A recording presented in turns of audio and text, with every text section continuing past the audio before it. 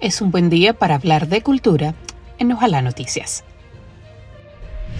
Comunidad Ojalá se solidariza con el pueblo cubano tras la explosión de un emblemático hotel en La Habana que ha dejado más de 20 muertos y decenas de heridos. Quiero que sepas.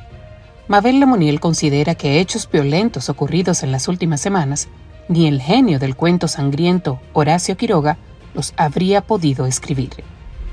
Tras 80 años de su fundación, la Orquesta Sinfónica Nacional presentará su primera temporada de conciertos de primavera 2022. La gala de clausura será el 29 de junio. Presupuesto para la cultura independiente y transparencia en el manejo de fondos, demanda del gobierno el sindicato de teatristas. En Brasil, el presidente Bolsonaro vetó otra ley sobre apoyo a cultura a través de gobiernos municipales. La Fundación Casa de Teatro de la República Dominicana presentará Festival Internacional de Teatro de Improvisación del Caribe del 27 al 31 de julio. Otorgan premio Resiliencia del Teatro Independiente a la agrupación y Fundación Anacaona Teatro.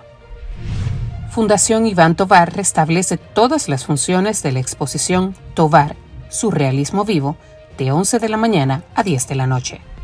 Maestro de la fotografía Ángel Rivera presentará el miércoles 11 su exposición fotográfica Preludio Circular.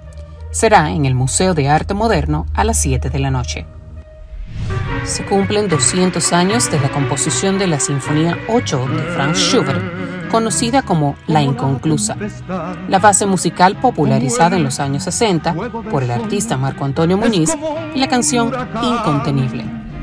Mucho más de cultura y otras áreas en nuestra web, preparado todo para ti. Visítanos y únete a nuestra comunidad www.ojalá.do.